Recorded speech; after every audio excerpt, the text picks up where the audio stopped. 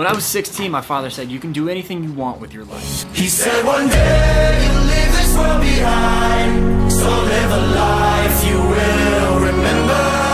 My father told me when I was just a child, these are the nights that never die. My father told me.